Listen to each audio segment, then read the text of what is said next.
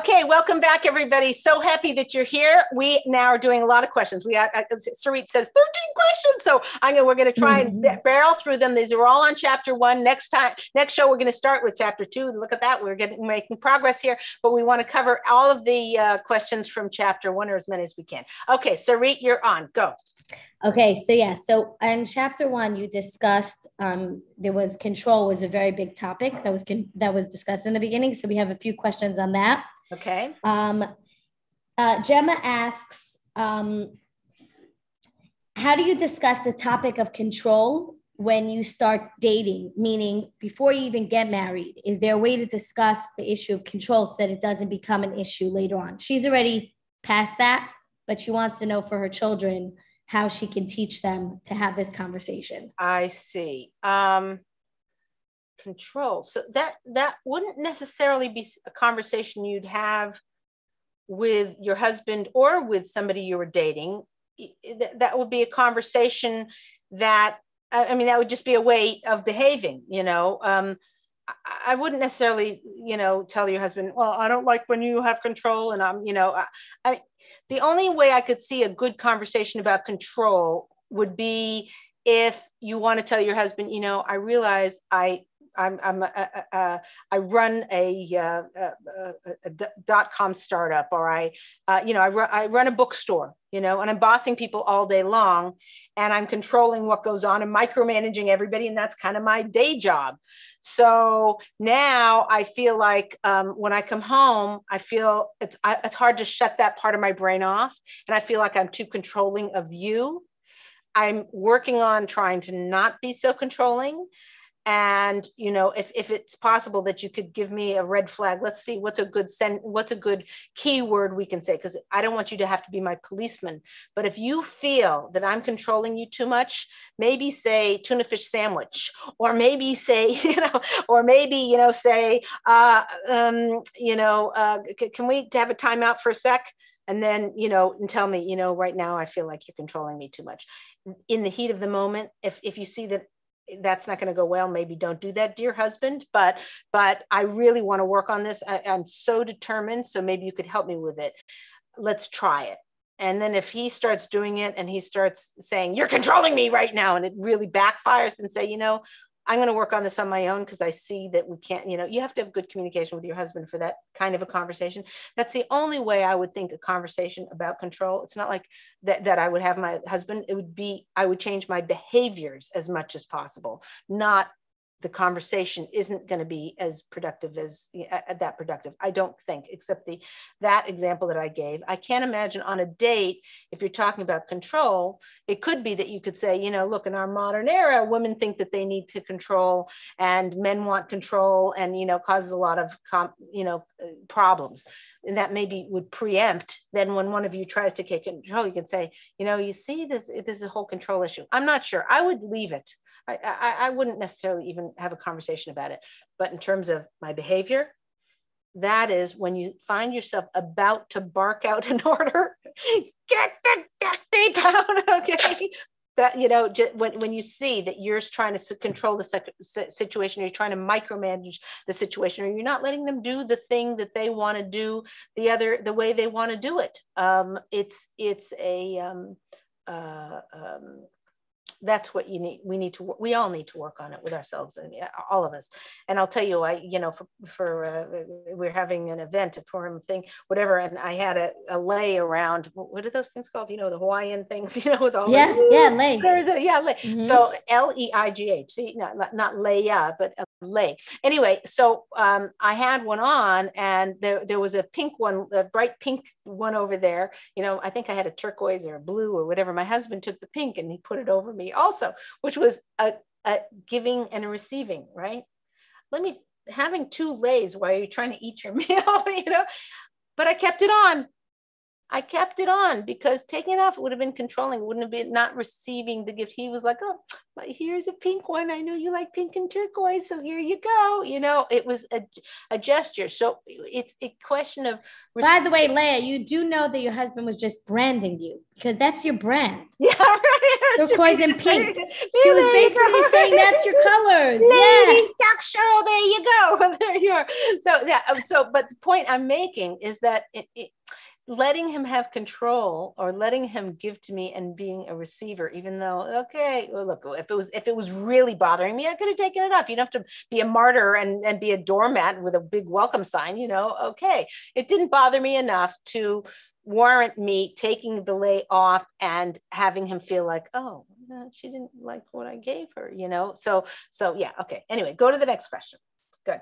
Did that answer okay yeah, yeah. Yes, yes, very much so. And um, Gemma says, in terms of control, says she's not trying to control her husband, but she has a perpetual irritant in her marriage. She says, What can I do to be less irritated in the moment when my husband brings me flowers that I hate? So she almost wants to control him not bringing her flowers and says, How does she go about doing that?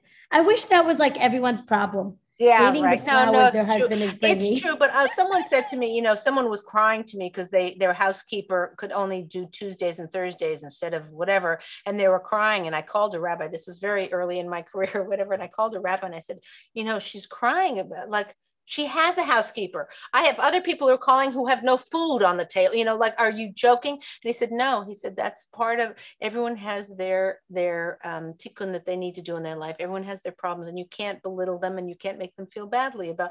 You know, maybe you know as she gets older, she'll realize that she should just be grateful that she has a house and a husband and children, and and you know, and a housekeeper two days a week instead of three days a week, whatever. And maybe that won't be a, a crying matter, but eh, you have to give everybody the attention they need needs. Anyway, her problem is that she's getting flowers and she, it's irritating to her.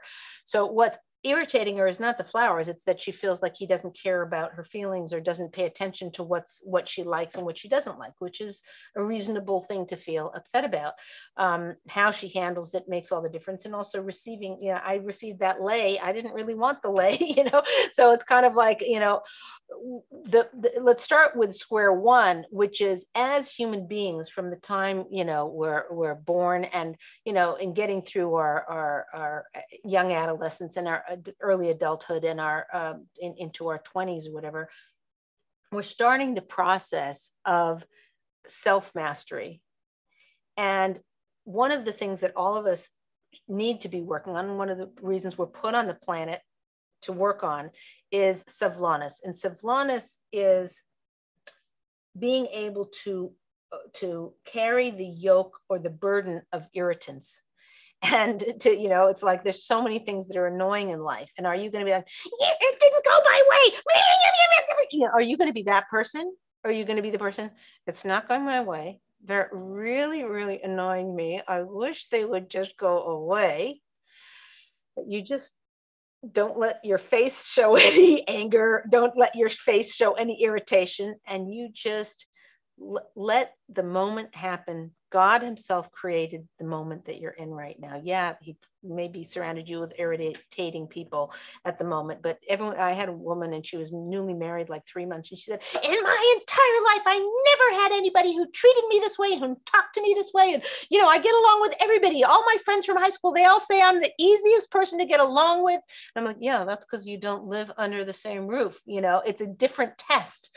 You know, it's much easier to get along with a friend who sees you see once every two weeks than it is to your next door neighbor who you hear them playing loud music or they're they're mowing their lawn for the third time that day and uh, the police you know so the carrying irritants and irritating around is part of our avoda we you know when when you're a, a, baby and something irritates you and someone takes a toy you scream your head off hopefully by the time you're you know in your 20s and, and, and 30s and whatever you grow into being a person who can who carry the yoke of the irritants around you.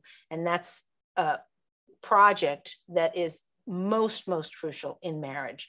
So whatever he's doing that is irritating you, um, the the first thing is to learn to be uh, uh, to, to learn to have savlanis, to learn to have patience with the and I'm using patience loosely because savlanis is really much more and deeper, but but it's basically carrying the yoke of that person when they're irritating you. So that's first of all.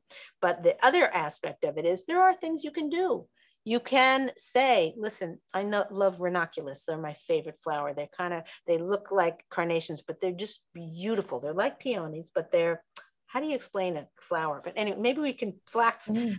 maybe uh, our, our, I actually don't even know what that flower is. So if you could, yeah, they could show it. That'd be so great. you can show, put a, just a picture of a, of a, mm. ranunculus. Anyway, they're just beautiful flowers. They're hard to find and very, which is very annoying. But, but anyway, the point is that when he gives you the flowers, you know, thank him profusely at the time unless you have allergic reaction to them and say, oh, I love them, except I have to take these ones out that I'm allergic to or whatever. Some flowers make people sneeze. I have someone in my family like that. So, but then you can say when you're out and about say see these roses i know they're more expensive but they're so beautiful and rather than having flowers every week i'd rather have the roses every other week or something you logically in your mind you're smart. You've been sarah which is women's intuition. You can think of solutions that are easy for him. If he buys those flowers because on the way home there's a, a flower vendor on the street that you know makes it easy for him and she doesn't sell roses okay you might be out of luck. But a lot of problems can be solved with simple solutions that a, a woman gets mad that her husband didn't think of himself. But you can you've got smartness and you can make these things to lessen the the irritation. The a woman's husband is very very nice but he has some kind of denture work. I don't know what it is. And he clicks when he eats which drives her crazy. So rather she used to sit there so irritated during dinner. Now what they do is they play music. He doesn't really like it but he puts up with it because she doesn't hear his clicking while he, the music is on. So it's it's it's a, a compromised situation and he's okay with it because he doesn't want to irritate his wife. So thinking of ideas, get a notepad, get a something, a, a, app or something like that, and start writing down all kinds of potential solutions to how to, you know, different for them flowers. Um, I actually, for most years of my marriage, did not want flowers because they just die and I have to clean the vase. so I, when when my husband came on Friday afternoons, he had a bucket uh, of, of gifts for me, uh, things I, ga- kitchen gadgets and little bowls and little spoons and whatever. He always knew I was going to like it because I put it in the bowl, but I never knew what I was getting. That I put it in the box anyway, but he, I never knew what I was getting, so it was a very surprise to me, and it was always fun. So you have to figure out. I have so many bowls and dishes and spoons, you know, but but but I like that. And then when I'm uh, when I have a huge crowd, or everything has a different spoon, a different bowl, and it's just a fun thing. Um, unless I'm using paper, which is also fine if you're too tired. Um, so the bottom line to answer the question is that um, there are a lot of solutions to not being irritated, but irritation doesn't depend on external solutions just on external solutions it also becomes on us on a human being to recognize that our job is to become less and less irritated with other people over time as we mature. And hopefully by the time we're old enough you know people can pretty much do anything. You you know the old joke the the uh, the the kid is jumping on the bed and the mother's screaming her head off or whatever. And then then the grandkid is jumping on the bed with with an ice a chocolate ice cream and cranberry uh, you know juice and whatever uh, on her bed and getting spilling it all over. And she's like, oh, he's so cute. It's because her savlanis, she's grown in her savlanis and her patience and her ability to carry the burden of the and the yoke of the moment. Okay, next question. Okay, by the way, that was scary how you went into patience. But firstly, before we go into the next question, that ties into that. Um, Liana what do you mean says, patience? I didn't understand. I'll tell you. Know. I'm going to tell you in a oh, second. Okay, okay. My, ha- my hubby has a pic of my favorite, my fave flower in his phone for reference. So points for um, Liana's husband. Who okay, knows fine. which flower she likes. That's great. Okay. No, but you were just bringing up how the patience, the savlanis of as the grandmother is versus the mother. And we had a question literally on that. Zelda says she's working on patience. What is the most important thought to have when I feel overwhelmed? Patience with her husband and patience in her marriage. You mean in the moment, she's feeling overwhelmed, like, ah, take a nap. Um, but that's not usually practical. Um, usually, when you are uh, in a state of overwhelm, which kind of describes every day at around 535 or whatever, right?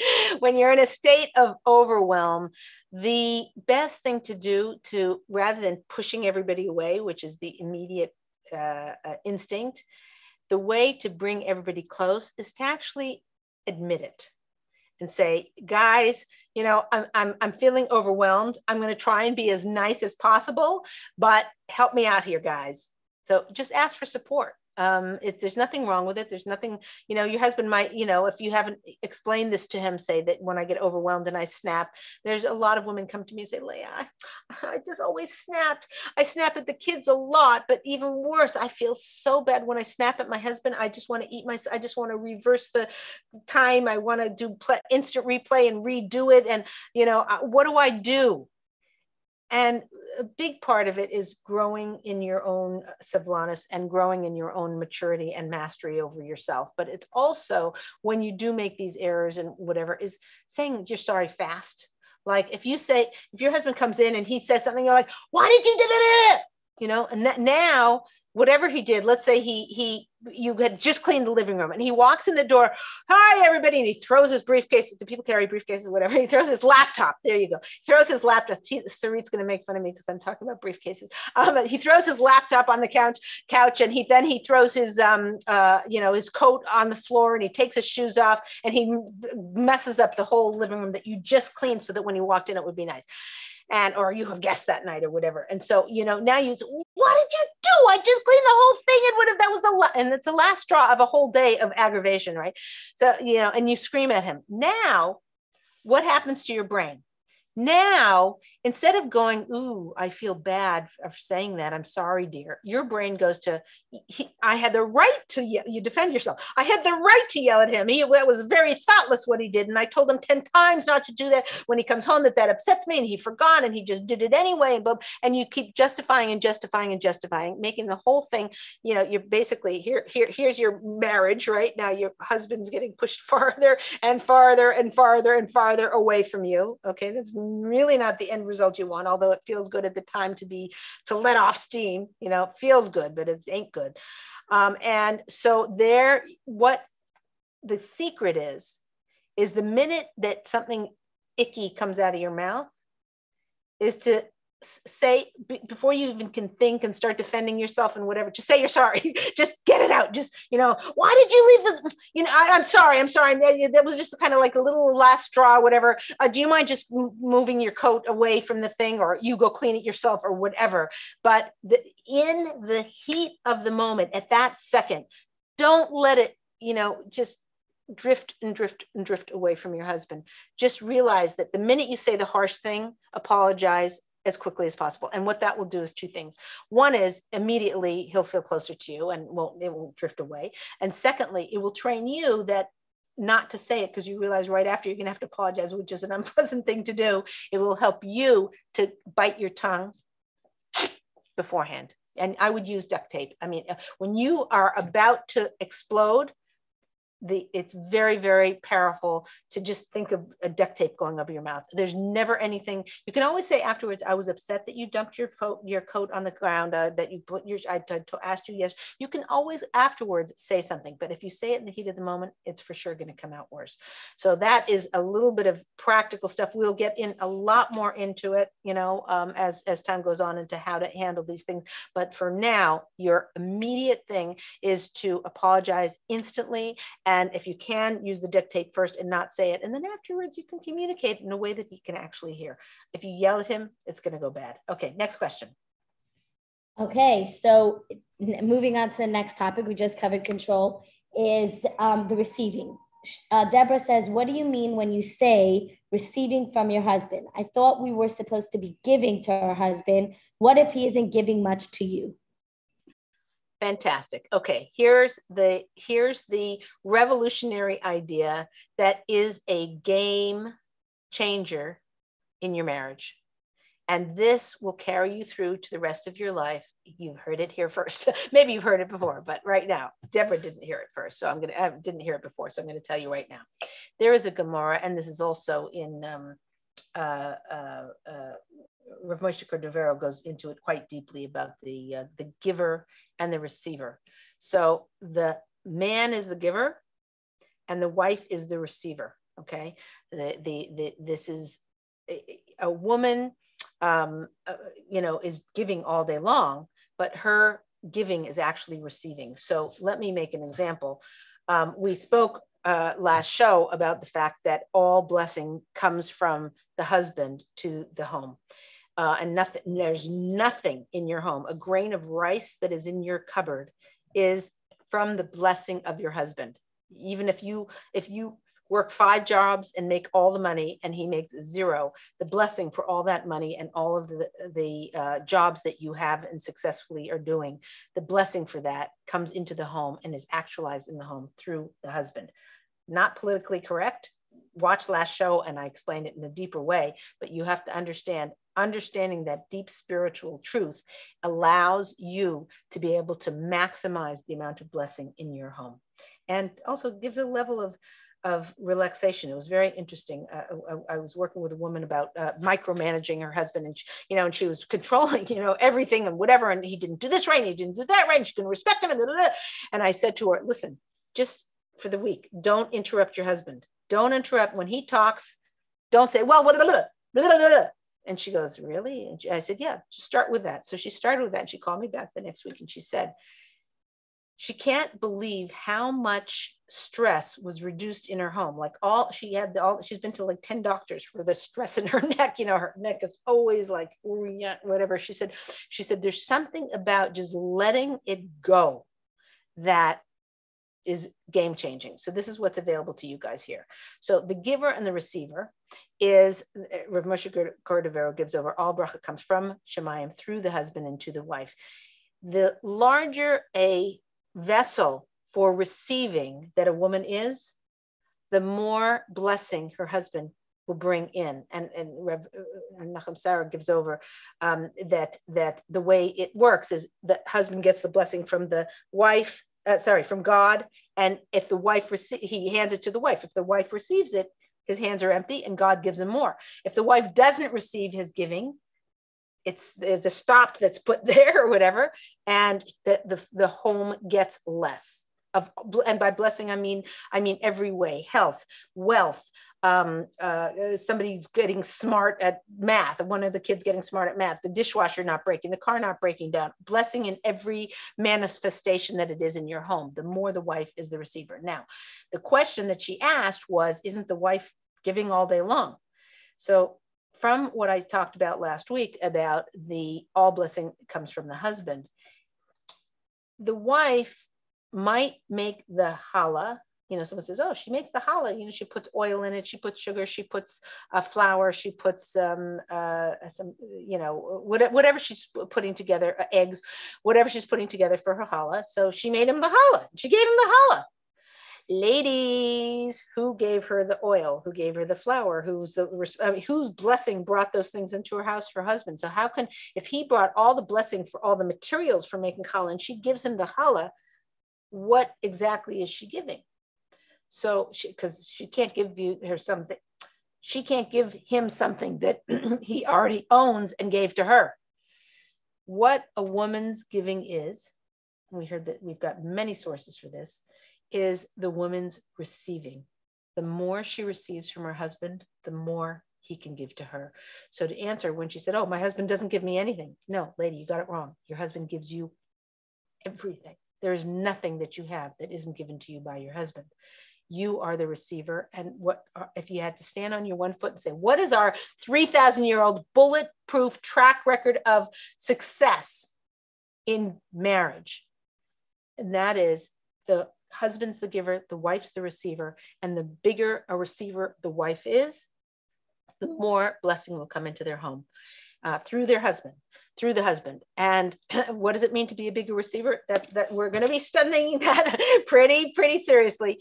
But just standing on one foot, it's being a receiver is being grateful and appreciating. Just remember the words thank you and keep saying thank you 10 times more than you're already doing currently. And you will see, start to see more and more blessing coming into your home. And it's guaranteed. It's not Leah Richeimer's great idea. This is this is our Masorah from Har Sinai from 3,000 years. It is guaranteed. Start today and you will witness miracles in your home. No joke. Okay. All right. Do we have time for another question? I, I think sure. one last question. Okay. okay. So one last question. We're tying it off. Rivka says, what if your constant giving makes you feel taken advantage of, makes you feel like you're a maid? Is there something wrong with your mindset? How do you find a healthy balance? That's fantastic. I couldn't have asked the question better myself. Fantastic. And you're absolutely right. Here's the thing a woman is a bottomless pit of needing appreciation, married to a man who has zero clue on how to give appreciation okay? We are going to spend an entire chapter on how to get your uh, how to feel appreciated how to get the appreciation women desperately desperately need. We're going to cover it greatly but that's what's missing. If you had the appreciation that you needed in your life which we will get to and i promise you we you will after that section which is comes up fairly early in the book in marriage secrets if you have yourself appreciated, you won't have this feeling of feeling like a, a like uh, uh, you're. What's the word she said, Sarit? She said a maid that she doesn't want to feel like a maid. Right, right, exactly. If you had the appreciation, you would not feel like a maid. And there's a maid. And the other thing about it is that um, there is a mindset of feeling that the things that you're doing when you feel like a maid those things are holy. And th- that's another mindset that you can get into but that won't really work if you're not appreciated from the from the uh, get-go. So i'm just going to give you one standing on one foot and cover it very deeply but just um, in terms of getting yourself appreciated don't be shy to say wasn't that wonderful what i did dear? and have him agree. That will help start to feel fit, fill your bucket until we get to the section on the six ways to get the appreciation that women desperately need. Okay. That's just like a little, uh, a taste of it to get you started. Okay. I think we got, th- that's it we have time for. Very good. This is Leah Richeimer for the Ladies Talk Show. Really looking forward to seeing you next time. There's a lot of fun and type in your questions, info at ladiestalkshow.com, and we will get them answered hopefully the next show. Thanks a million, everybody.